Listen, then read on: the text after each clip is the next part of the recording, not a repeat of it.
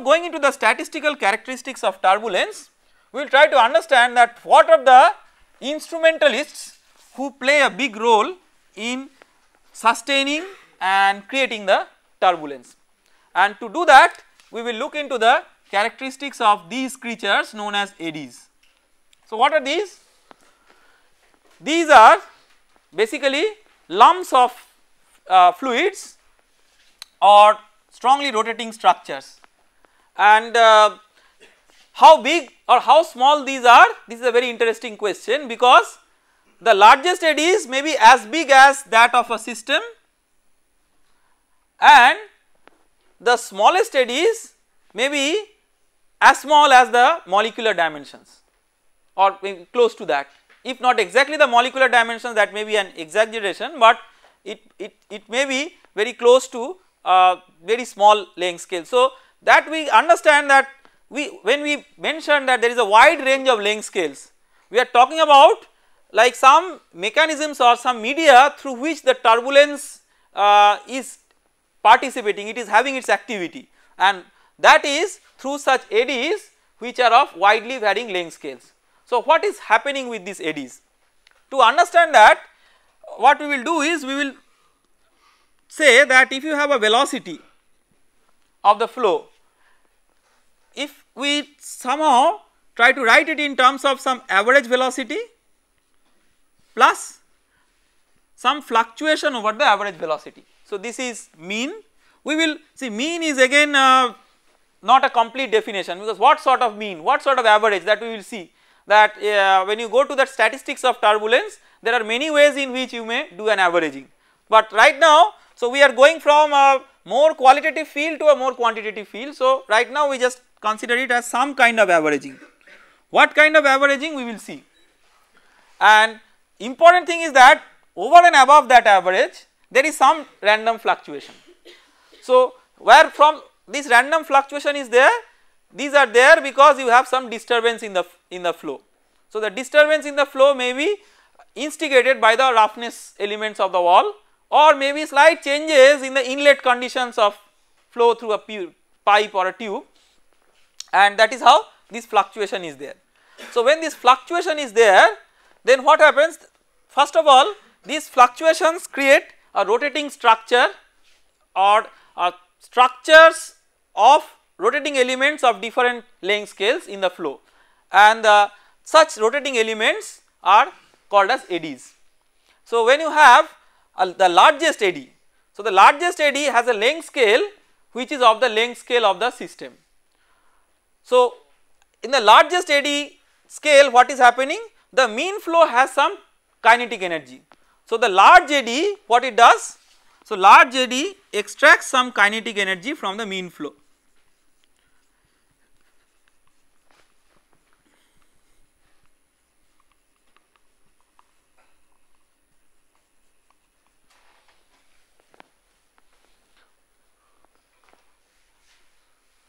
So, when it extracts some kinetic energy of from the mean flow then what is happening? Now the large eddy, eddy has some activity it has sort of a like a rotational kinetic energy and then with that activity it might get evolved into smaller eddies. So the next step is that the large eddy or we should say the largest eddy because large is a, again a comparable term. So, largest the whatever is the largest in the system and the largest eddy we should keep in mind that it is of the order of the system length scale.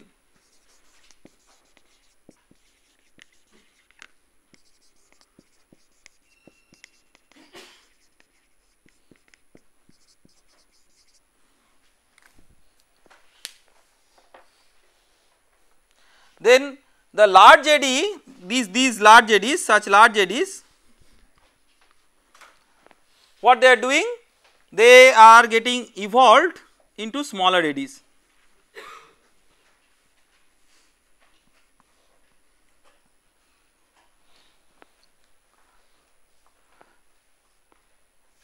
so the smaller eddies which are so therefore in a system you have large eddy and then smaller eddy and smaller eddy but there are important characteristic differences between the large eddy and the small eddies. What are these? The large eddy has the order of its dimension as that of the system length scale. So, if the flow over the system length scale is such that the flow is of high Reynolds number that means with respect to the length scale of the large eddy let us let us call that some length L with respect to this length scale of the large eddy the Reynolds number is high. If the with if with respect to the system length scale the Reynolds number is high and we have seen that the turbulent flow has characteristic that it is it is for a high Reynolds number. So, uh, the Reynolds number is high and when the Reynolds number is high that means for the large eddy inertia forces dominate over viscous forces. So, much much more significantly dominate not just dominate much much more. So, if the Reynolds number is say 10,000 that means roughly that 10,000 times more becomes the inertia force. So, uh, for the large eddies these eddies you have the Reynolds number based on the eddy length scale is very large which means the inertia forces much much more significantly dominate than the viscous forces. Now large eddies evolve into smaller eddies and energy is transferred or extracted from the large eddy to the smaller eddies. So there is a transfer of energy first the energy so if you look for the transfer of energy first there was a mean flow we are basically talking about kinetic energy. So from mean flow to large eddies then to smaller eddies.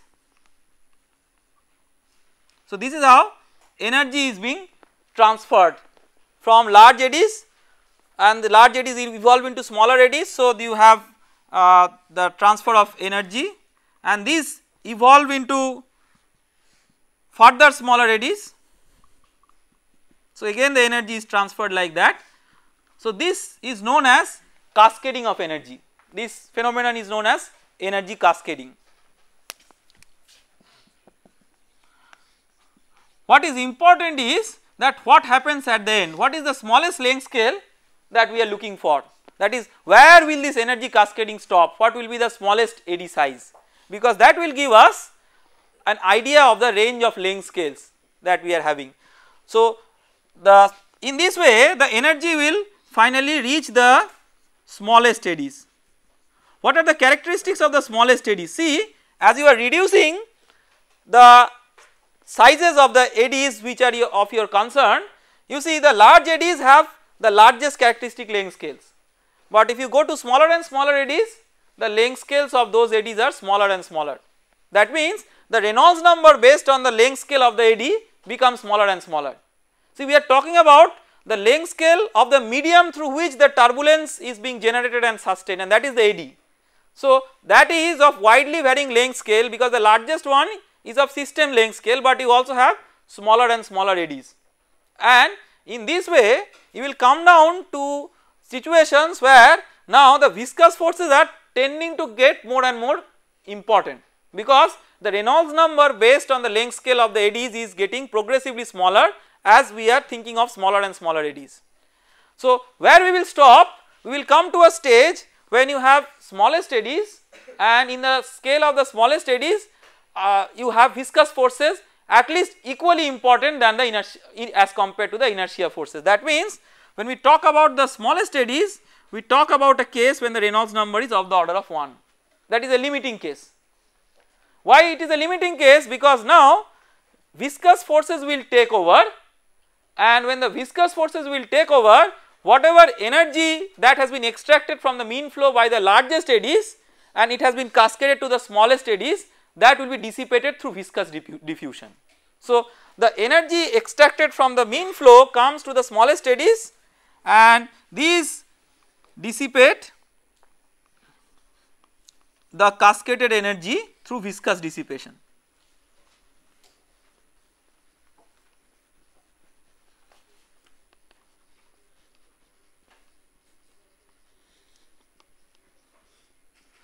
Since the length scales of the large and the small eddies are different, to exemplify that we will consider that the smallest eddy length scale we will give it a different name. So, we will call it eta. So, eta is different from L, L is the largest eddy length scale and eta is the smallest eddy length scale and let us try to develop a sort of qualitative understanding of these length scales. So, to do that let us try to figure out that what is the kinetic energy that is extracted from the mean flow and what is the dissipation of kinetic energy that is there through the smallest eddies by this energy cascading mechanism. So, to do that we understand that if you have the rate of extraction of kinetic energy from the mean flow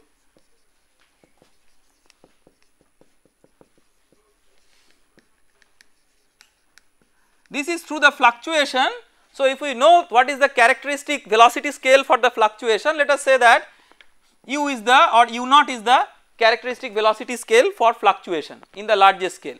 So, there is a whole lot of fluctuation and because of this fluctuation you have the kinetic energy extracted from the mean flow by the largest eddies. So, largest eddies are getting energized because these fluctuations are getting amplified in a turbulent flow such eddies cannot be sustained, in a laminar flow such eddies cannot be sustained. Because these perturbations or fluctuations cannot get amplified. So, you cannot have, so eddies can sustain only when they have sufficient energy because they are rotating lumps of fluid so to say. So, there must be something which helps them in sustaining their motion. And that is extraction. The key is in the large scale it should be able to extract kinetic energy from the mean flow and that is only by the fluctuations. So, if you have uh, fluctuations dying down then that is not possible therefore, you can't have eddies in a laminar flow. Now, if you rate if you find out the rate of extraction of kinetic energy from the mean flow then what is happening in this basically you are writing the kinetic energy per unit time. So, kinetic energy is like if you if you if you write it in terms of per unit mass. So, let us let us write everything per unit mass. So, we are not mentioning it explicitly. So, it is just like half mv square. So, uh, per unit mass if you write it is just like half v square, but that half is not important for us we are just writing the order. So, it is just like say u0 square divided by the time. This time in the large range in the large eddy scale is known as turnover time. What is this turnover time? This is the time that is necessary for the large eddy to be energized by extracting energy from the mean flow. So, what is the time that it takes? Characteristic time scale that it takes to be energized by extracting the energy from the mean flow and that uh, will depend on the velocity of the flow so, that we can write as L by u naught. I mean always when we are writing this these are we should give a better symbol as this one tilde which is meaning the scale that means it is not that t is exactly equal to L by u0 but order of magnitude of that is dictated by the length scale and the velocity scale at that uh, condition. So, that means so if you give it a name as say pi, so this is per unit mass we have to understand. So, pi is of the order of u0 cube by L that is the rate of extraction of kinetic energy from the mean flow. So, let us try let, let us write the scale. So, let us say that you have a mean flow and uh, or let us say we have a large eddy and a smallest largest and smallest eddy. So, largest eddy and smallest eddy. So, the length scale of the largest eddy is L, the velocity scale is u naught and the time scale is t. So, we will have some scales for the smallest eddy also. And our objective will be to compare these scales to see what is the total range of scales over which the activity is going on. So, for the smallest eddy we have let us say eta that is the symbol that we have given as the length scale. Let us say v is the velocity scale and maybe say t prime is the time scale. Just some names So in the smallest eddy scale what is happening? There is a viscous diffusion that is taking place. So whatever is the kinetic energy that has been extracted and being transmitted to the smaller eddies, the smallest eddies that it is now dissipating through viscous mechanism to its uh, surrounding fluids. So entire energy so it is not able to sustain its rotationality anymore by going to smaller scales because it is dissipating entire energy because of the dominance of the viscous force now the dissipating mechanism is very strong. So the rate of dissipation is something what is important rate of dissipation at the smallest eddy scale.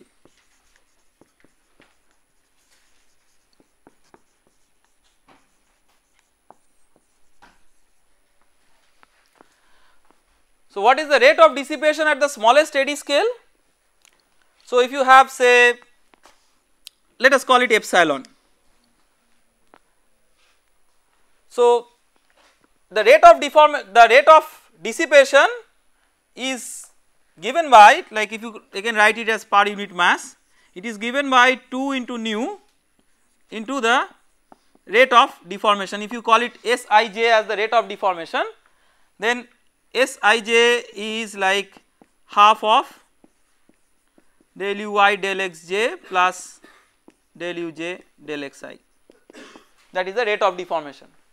And the rate of dissipation at the smallest eddy scale is uh, I mean this is not just for smallest eddy scale but any scale. But here we are talking about the rate of dissipation. So the rate of dissipation at the smallest eddy scale will also be governed by this rule. Only the velocity and length scale we have to identify properly. So what is that? So 2 again the factor 2 we forget we just write nu which is the nu is the mu by rho the kinematic viscosity. So nu into the rate of deformation square basically into the rate of deformation square. So the rate of deformation is what? Rate of deformation is some velocity by its length scale. So velocity is v and length scale is eta for the smallest eddy. So nu v square by eta square order of magnitude. That is one of the important things. The other important constant is that over the smallest eddy length scale the Reynolds number should be of the order of 1. So the third constraint, so let us just keep these uh, scaling expressions in mind that in the smallest eddy length scale you have the Reynolds number with respect to the length scale eta is of the order of 1 that means V into eta by nu that is equal to 1 or of the order of 1 again.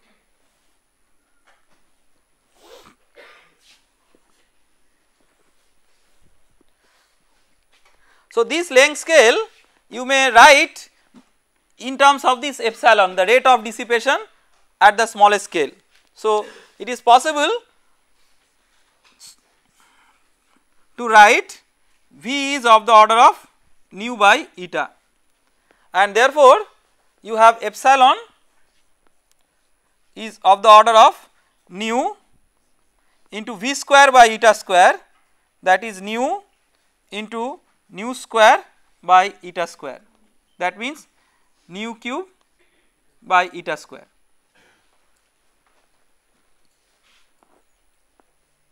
That means what is eta? Eta is of the order of nu cube by epsilon to the power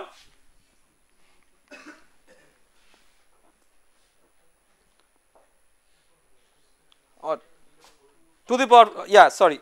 So V is of the order of nu by eta so again it sorry this will be V to the power 4 right.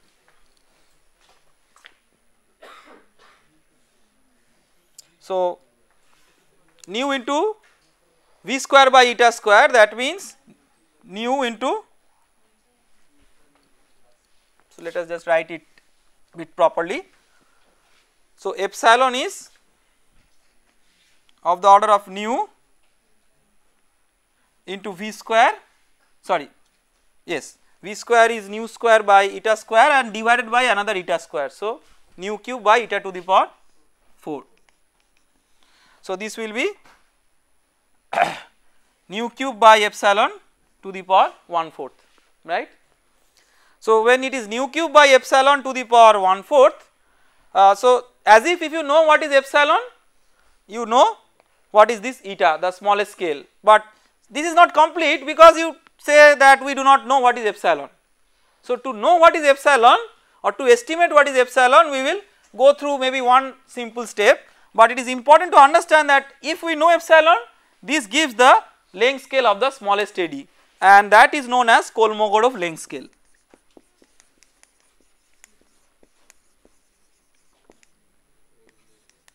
Kolmogorov length scale or micro scale.